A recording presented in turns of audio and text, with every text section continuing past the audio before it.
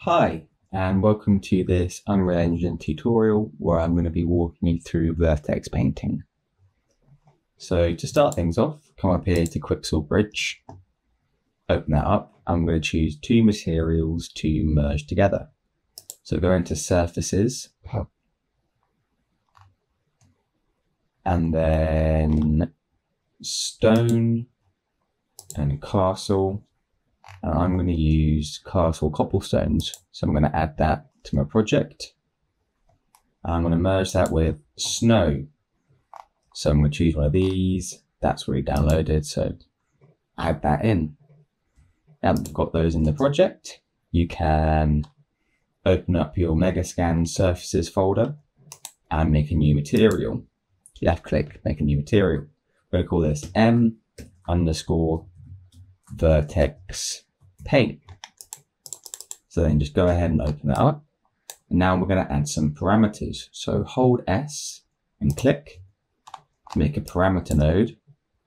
And to call this UV tile A. Change the value of this to 1. And then click on it, Control D to duplicate. I'm going to call this UV tile B. Then we're going to get a texture coordinate node. And we're going to also duplicate that. And that's going to go into a multiply node. And then just add your UV tile node into the B of that. Basically, So then from here, I'm just going to move this to the side to give us some room and we can now add in our textures. So open up your stone texture, select these and drag them in. And you're going to want to arrange that in a column like so. And then do the same with the snow texture. Just drag that in. And you want to kind of pair these up so the snow textures go underneath their equivalent of the stone texture. And then from here, from the multiply of UV tile A, you're going to go into all the UVs of the stone textures. And then the same for B, into all the UVs of the snow texture. There you go. Now we're going to get a height lerp node and just stick A and B into that from the corresponding textures. Do that all the way down.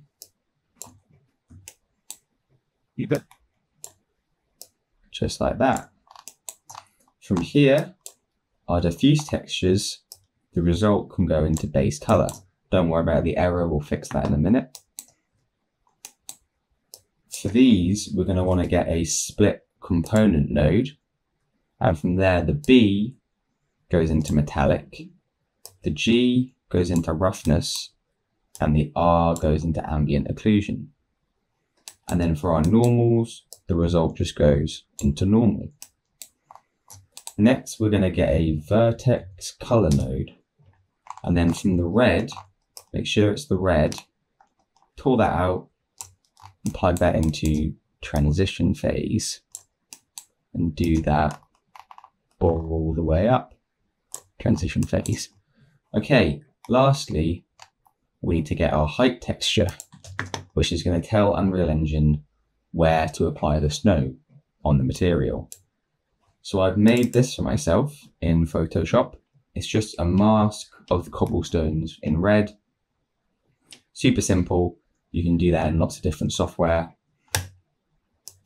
And I'm just going to add that in. As you won't have this at the moment, just use one of these textures instead and just plug that into the height texture.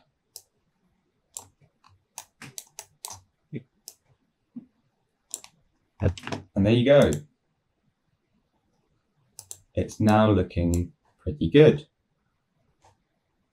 So next, just go back to where you put the texture, left click, and go create material instance.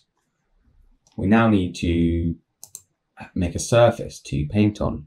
So I'm just going to go into shapes and add a plane. Just going to scale that up. And then I'm going to grab my material instance, plonk that on top.